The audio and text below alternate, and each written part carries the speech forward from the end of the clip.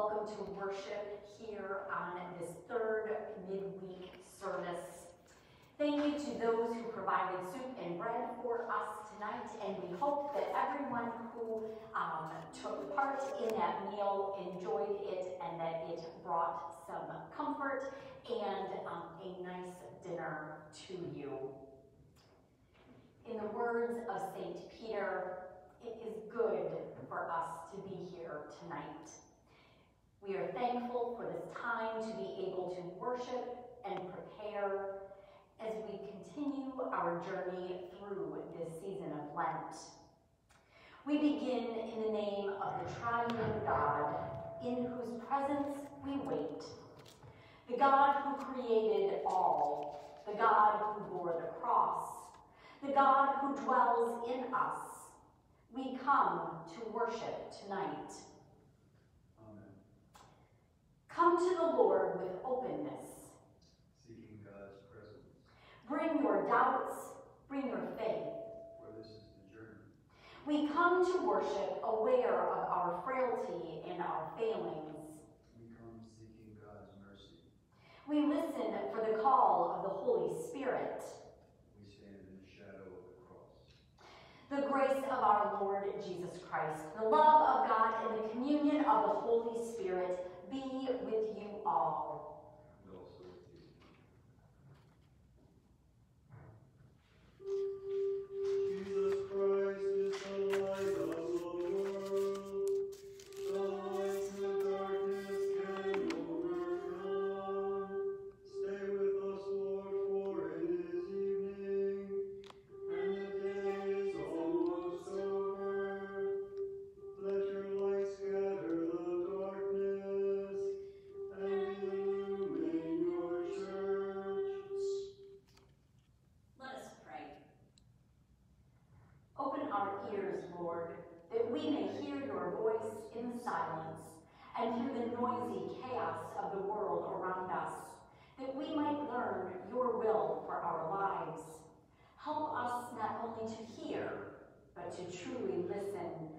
Understand with our hearts. In Jesus' name we pray. Amen.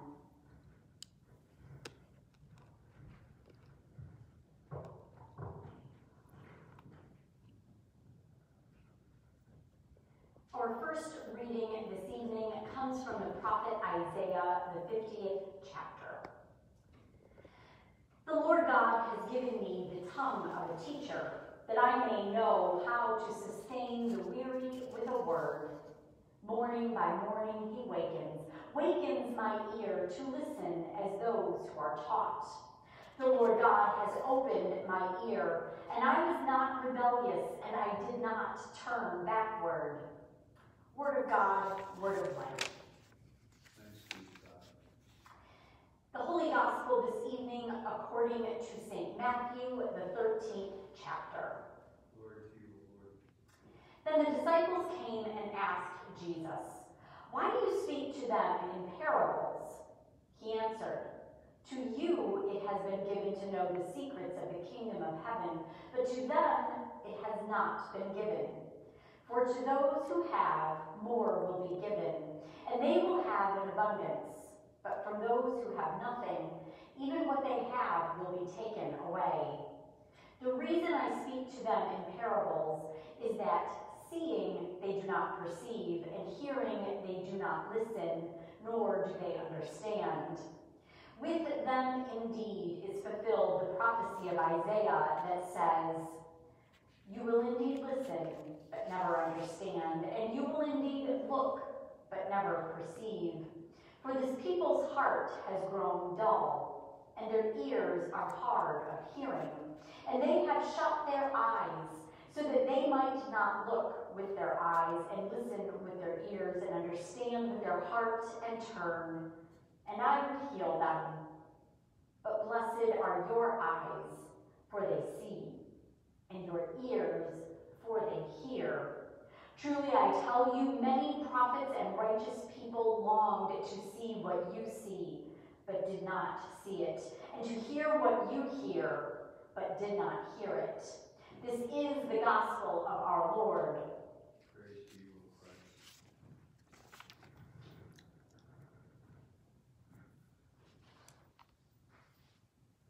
Grace, Grace to you and peace from God the Father and our Lord and Savior, Jesus Christ.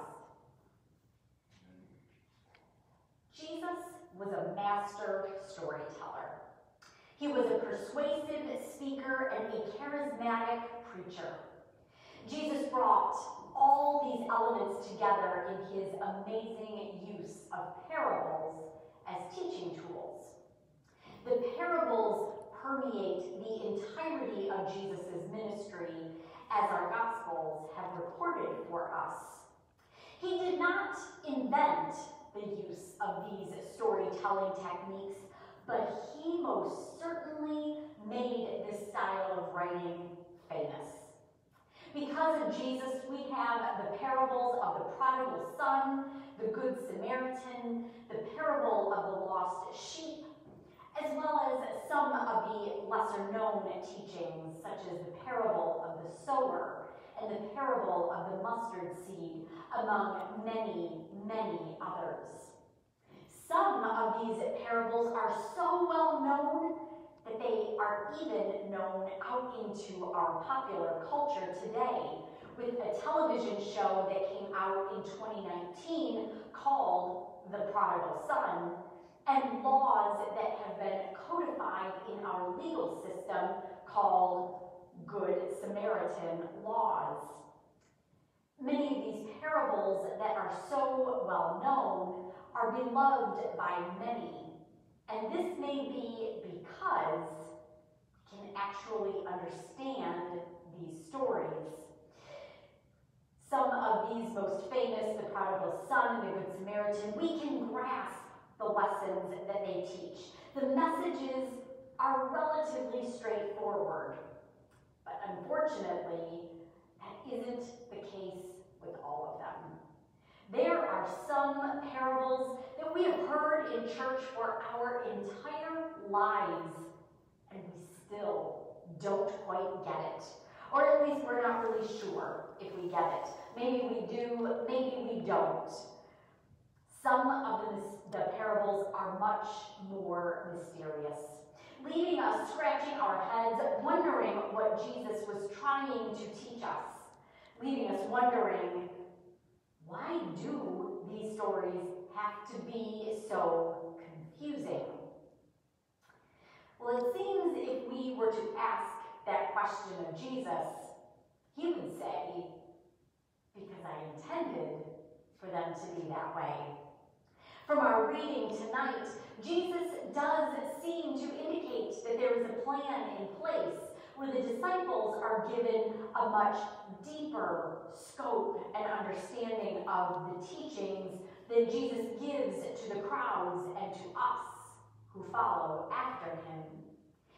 Today, our faith affirms the priesthood of all believers, a phrase coined by Martin Luther during the Reformation to ensure that it was clear to everyone that we all have a role to play in the spread of the gospel. We believe and uphold that it is not the pastor or the bishop or any other church leader who possesses the sole ability to study the scriptures and speak out about the gospel. A task that large needs us all. But here, during Jesus' earthly ministry, there is a need for these first apostles to gain a deeper knowledge that will prepare them to be the first to follow in Jesus' footsteps after his ascension. Even if the disciples themselves don't yet quite understand that at this stage. With our 21st century mindset, with information that is available to us in an instant, only a Google search away, any questions asked and answered in mere seconds, we see that Jesus was not preaching and teaching at the speed of the internet. We may be a people who expect quick and straightforward answers. We may think that we deserve simple solutions to complex problems, but Jesus has a different plan in mind. The ways of God are, in fact, not always simple or straightforward. Jesus expects us to slow down, to think, to ponder, to question, to seek. Jesus is offering us divine teaching. And divine teaching does not come easily or simply. Jesus quotes from the prophet Isaiah words spoken by God at a time of intense crisis for the people of Israel, all the way back in the 700s BCE. After Isaiah's repeated urgent calls to the people for repentance and return to God, God finally acknowledges that no matter what Isaiah says, it's not going to matter. The people hear Isaiah speak, but they do not. They listen to his words, but fail to understand their meaning or grasp their importance. Israel sees the things going on around them, but refuses to acknowledge the criticality or perceive the reality that is revealed by Isaiah's words. While the people continue to worship and sacrifice and give offerings, they are simply going through the motions. They have shut their hearts and minds to the living Word of God. God accuses them with the painful words This people's heart has grown dull.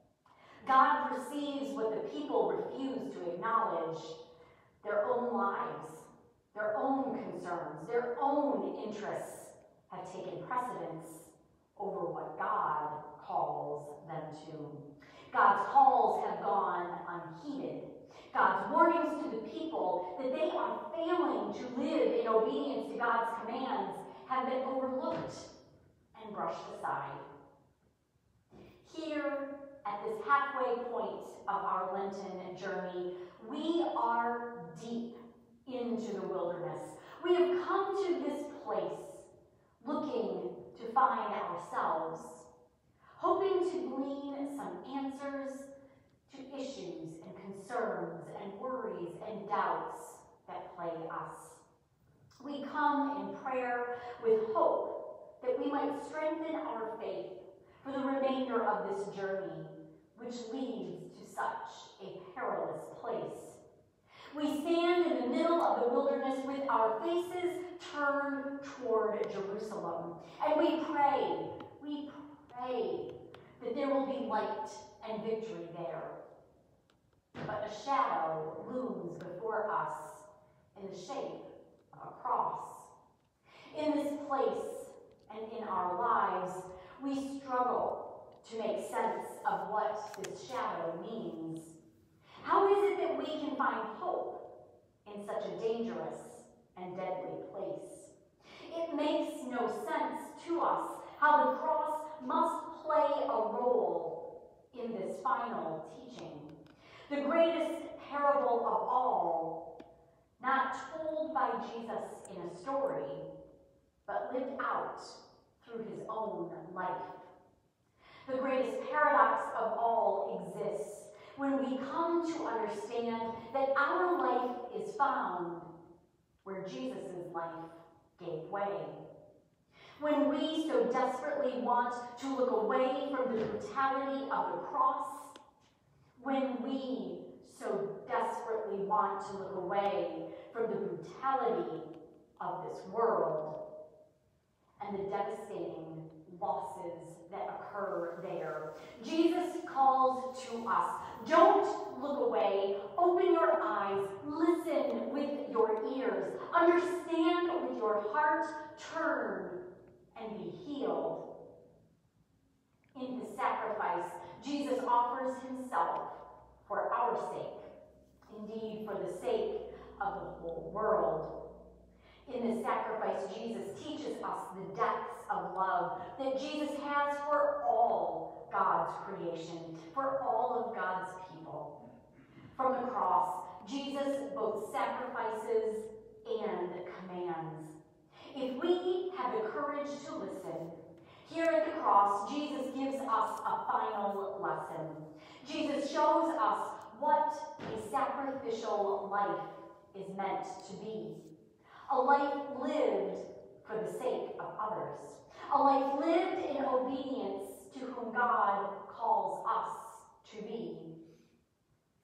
The cross is real, and it is brutal, and it cannot be ignored. We cannot pay simple platitudes to the enormity of what transpired on that terrible Friday afternoon outside the walls of Jerusalem. As disciples, we follow in Jesus' footsteps, as scary and as uncertain as they may be. As Christians, we are called to a life of servanthood. As God's beloved and holy people, we are called to live as a people who reflect Christ's own love of neighbor. Thanks be to God. It is almost certain that none of us will be called to sacrifice our very lives the way that Jesus did and most of his first apostles did. But it is most certainly true that we are called to a life of sacrifice for the sake of our neighbors, to live for the sake of the world whom Jesus came to save, to use our gifts and abilities for the sake of the world that God created and called good. We are to hear the call of the Holy Spirit and follow wherever she may lead, for that is where God needs us to be. Amen.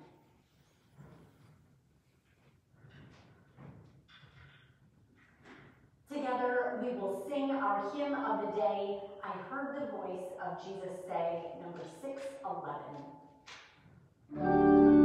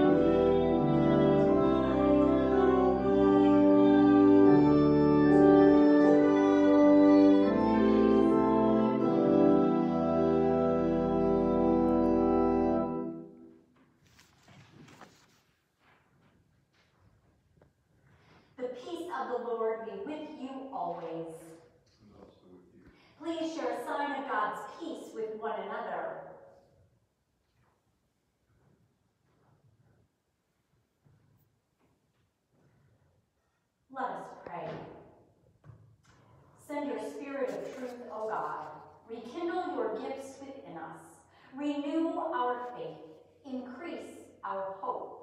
And deepen our love for the sake of a world in need. Faithful to your word, O God, draw near to all who call on you through Jesus Christ, our Savior and Lord, to whom with you and the Holy Spirit be honor and glory forever.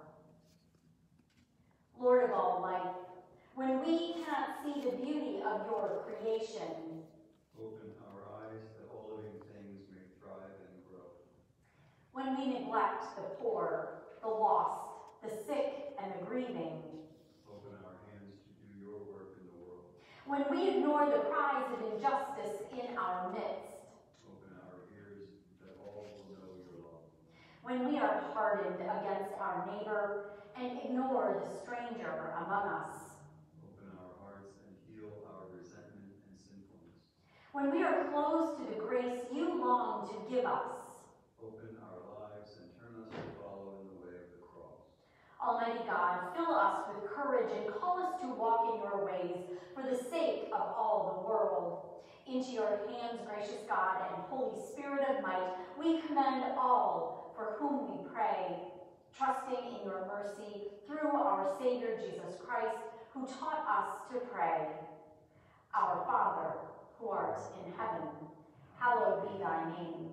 Thy kingdom come, thy will be done, on earth as it is in heaven. Give us this day our daily bread, and forgive us our trespasses, as we forgive those who trespass against us. And lead us not into temptation, but deliver us from evil. For thine is the kingdom, and the power, and the glory, forever and ever. Amen.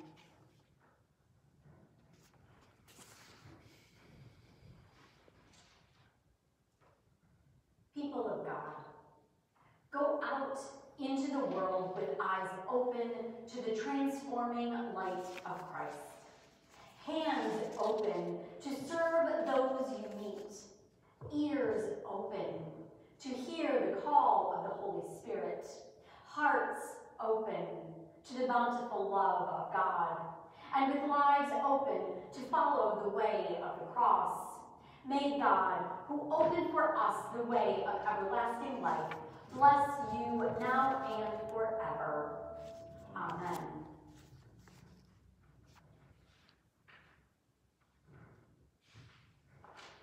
We will sing our sending hymn number 608.